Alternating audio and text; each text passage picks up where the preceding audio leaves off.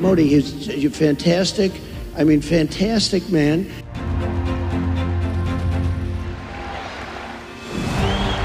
अब इस पोजीशन में देखें कि वो मोदी को कहता तो मेरा यार है मोदी साहब डेमोक्रेट्स को मुँह चढ़ा के जा रहे हैं मिल रहे हैं कौन बंदा आएगा जो बाइडेन से उसके होम स्टेट डेलावर उसके घर जाके मिलता है और जाके वहाँ से ट्रंप को भी मिले नरेंद्र मोदी ने डेमोक्रेट्स के खेमे को हिला दिया है। जी हाँ दोस्तों, फिर वो जो बाइडन हो गए, कमला हैरिस हो गए, इन सभी को शॉक करते हुए एक न्यूज़ सामने आ रही है। जैसे इंडिया ने महसूस किया कि अमेरिकन ने मेरे इलेक्शन को खराब करने की कोशिश की। कैसे? एक्सेस में एक रैली इन्होंने की थी। और मेरा पचास हज़ार लोग इकट्ठे हुए पचास हज़ार बंदे होस्टन में इकट्ठे हुए थे। ठीक है जी। कहा जाता है कि ये आज तक इतनी बड़ी रिसेप्शन किसी फॉरेन लीडर से के लिए यूएस में नहीं हुई थी। दोस्तों यहाँ पे हमें एक बात याद आती है कि बस कुछ महीने पहले जब भारत में चुनाव था तो यूएस ने काफ़ी यहाँ पे इलेक्शन इंटरफेरेंस किया था मेडलिंग किया था। रशिया ने तो क्लियरली यूएस पे एक्यूजेशन लगाया भी था। जिसमें ट्रंप ने कहा है कि फंटास्टिक मोदी उन्होंने कहा कि वो मुलाकात करेंगे फंटास्टिक मोदी से। मोदी फंटास्टिक है और साथ ही उन्होंने कहा कि अब वो आ रहे हैं तो उनकी उनसे मीटिंग होगी। आप आ रहे हैं अमेरिका मैं खुद स्वागत के लिए जाऊँगा मैं सोच रहा हूँ मैं दोस्तों के साथ जाऊँगा वहाँ पे। मुझे एक पाकिस्तानी चैनल ने मुझे बड़ा क्रिटिसाइज किया कि यार आप मोदी भगत हो मोदी साहब की बड़े आप फ़ैन हो इसकी वजह क्या है? मैंने सारी अटेंशन जा चुकी है डोनाल्ड ट्रंप पे। ये स्टार्डमैन का आज के समय आप कह लीजिए पॉलिटिकल वर्ल्ड में इन बाइडेन को तो चलो कोई दुख नहीं होगा लेकिन कैमला हैरिस जो है उसको तो नुकसान होगा। उसकी वजह ये है कि कैमला हैरिस के तो इंसेस्टर्स इंडिया से थे, वो कह रहे जी इंसेस्टर्स इंडिया से हैं। सो नरेंद्र मोदी क्या पैगाम दे रहा है इंडियंस को? Go and vote for Trump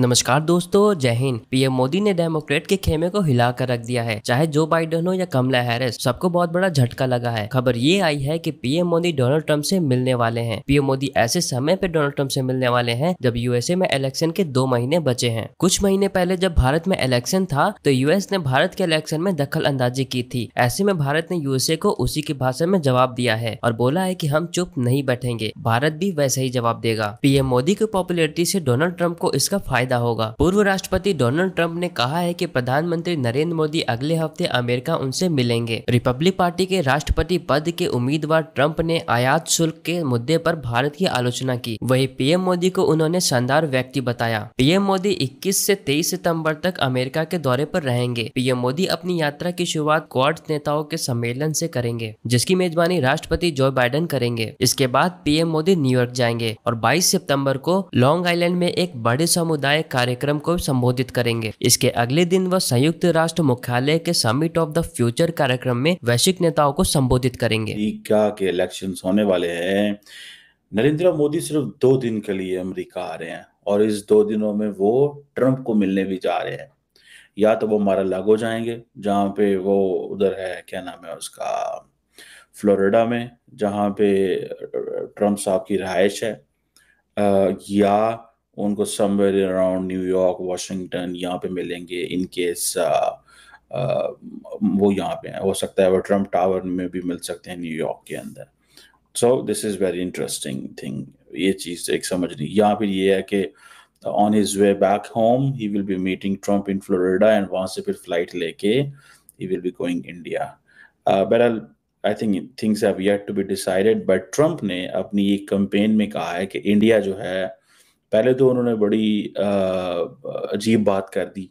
उन्होंने कहा जी कि जो इंडियंस को सारी बात है, बुरी लगेगी। उन्होंने कहा जी India was a very big abuser US India trade relation का ठीक है जी? और लेकिन मैं देखो, मोदी के साथ में चीज़ें सारी ठीक कर दूँगा इट मींस वो कहना ये चाह रहा था कि इंडिया ने हमसे फ़ायदे उठाए हुए हैं। This is what he was saying so he was a very big abuser ठीक है? देन उसने कहना शुरू कर दिया इज़ अ फैंटास्टिक गाय अच्छा अच्छा ट्रंप की मैंने एक चीज़ नोट की है कि वो कहता कि Modi is a fantastic person ठीक है लेकिन इंडिया जो था, वो बिग यूज़र था ट्रेड के अंदर। सो इट मीन्स कि अब आप देखिए जरा जरा इसमें थोड़ी देखिएगा कौन से लीडर जो है। पहले जरा इस पर मैं बात करता हूँ, फिर इसको वो हाउडी मोडी पे भी लेके चलते हैं। देखें आपको पता है कि which leader wanted to see Donald Trump? Or which leader globally has come to see President Trump? Viktor Orban जो हंगरी के प्राइम मिनिस्टर है। वो मिलने गए उनको, उनकी रहायश गाह मॉरला को। ठीक है? उधर फ्लोरिडा के अंदर। और अब कौन जा रहा है? अब नरेंद्र मोदी जा रहा है। And who is Viktor Orban in Europe जिसने पूरे यूरोप से पंगा लिया हुआ है। विक्टर ऑर्बन ने पूरे यूरोप से पंगा लिया हुआ है इस वक्त। वो कह रहा है, रशिया से जंग बंद करो। ठीक है? और वो मिलने गया बिकॉज़ उसको खदशा है कि वो जीत सकता है। अच्छा इंडिया जो है why India is going to see Donald Trump जब उनके डेमोक्रेट से बड़े अच्छे ताल्लुक आते हैं। इंडिया जब ये बात करता है स्ट्रेटेजिक ऑटोनॉमी की, अब अब देखें वो within the United States within the United States कोई भी जो लिबरल लेफ़्ट का लीडर है लिबरल लेफ़्ट का जो लीडर है, वो ट्रंप से नहीं मिला। सारे राइट right के पॉपुलिस्ट लीडर जो हैं, वो इससे मिले। विक्टर ऑर्बन भी राइट right का बंदा है कंजर्वेटिव है। प्राइम मिनिस्टर मोदी और उनकी party BJP they are they belong to right and conservative party है उनकी। वो भी जो है वो इससे मिल रहे हैं। सारी बात है बाइडेन को तो चलो कोई दुख नहीं होगा, लेकिन कैमला हैरिस जो है उसको तो नुकसान होगा। उसकी वजह ये है कि कैमला हैरिस के तो इंसेस्टर्स इंडिया से थे। वो कह रहे जी इंसेस्टर्स इंडिया से हैं। सो नरेंद्र मोदी क्या पैगाम दे रहा है इंडियंस को? Go and vote for Trump this is what Putin says Putin ने भी तरीके तरीके से यही कहा है कि हम जो है वो कैमला हैरिस को सपोर्ट करते हैं। It means don't vote for Kamala Harris vote for Trump ये देखें, ये जो बड़ी ताकतें होती हैं India is a big power in the in the देखें India can influence the elections of the United States India America के इलेक्शंस को इन्फ्लुएंस कर सकता है। मेरा ख्याल है लेट्स लेट्स बी लिटल थोड़ा सा होने कोशिश करें। जैसे इंडिया ने महसूस किया कि अमेरिकन ने मेरे इलेक्शंस को खराब करने की कोशिश की कैसे? आपको याद है कि जब नरेंद्र मोदी ने ये कहा बाइडेन को कि आए 26 जनवरी 2024 को आए कॉर्ड की मीटिंग भी करें और हमारे रिपब्लिक डे भी, भी आए। They turn down this request और उन्होंने कहा नहीं this is your election campaign you you don't you want us to to stand for you we will not stand for you मेरी बात समझ गए हैं? ठीक है। उन्होंने कहा, तुम ये चाहते हो कि हम तुम्हारे लिए खड़े हो? हम खड़े नहीं होंगे।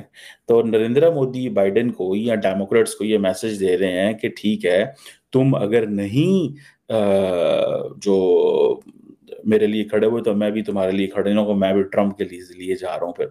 अब गो के वो बाइडेन से मिल रहे हैं, ठीक है। अब अगर इंडिया को ये शौक हो, इंडिया को ये शौक हो ये आप देखिएगा उस चीज़ को।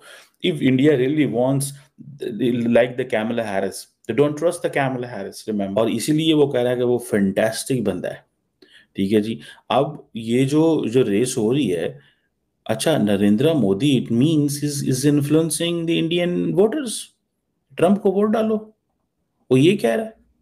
ये बेसिकली इंडियंस थोड़ा सा अमेरिका को कह रहे हैं कि थोड़ा सा मेचे में रहो भैया। ठीक है? ये मैं आपको सच्ची बात बता रहा हूँ। That's what that is a reality आप आ रहे हैं अमेरिका मैं खुद स्वागत के लिए जाऊँगा मैं सोच रहा हूँ मैं दोस्तों के साथ जाऊँगा वहाँ पे। अल्टीमेटली मैं तो इवेंट में शामिल होऊँगा लेकिन मेरे बहुत से दोस्त जो हैं उनसे मिलेंगे। दूसरा खासकर मैं कल परसों एक इंटरव्यू में गया तो मुझे एक पाकिस्तानी चैनल ने मुझे बड़ा क्रिटिसाइज किया कि यार आप मोदी भगत हो मोदी साहब की बड़े आप फ़ैन हो इसकी वजह क्या है? मैंने कहा यार मैं हमेशा ये बात करता हूँ कि मोदी साहब नेशनलिस्ट मुझे सबसे ज़्यादा जो उनकी बात पसंद आती है, उनका नेशनलिज्म उनकी डेडिकेशन फिर आप जो बार बार ये नैरेटिव इस्तेमाल करते हो कि मोदी साहब इज़ आइदर एंटी पाकिस्तान और एंटी इस्लाम उस पर भी ये मैंने सुन लो बात। मोदी साहब वैसे, एक वाहिद, एक प्राइम मिनिस्टर थे, जो बगैर इनविटेशन के ही रुक गए थे। नवाज़ शरीफ साहब के घर थे। बहुत सारा बहुत सारा पॉलिटिकल कैपिटल उन्होंने जाया किया। तो आप सारी चीज़ें ऐसे ही ना दिया करें।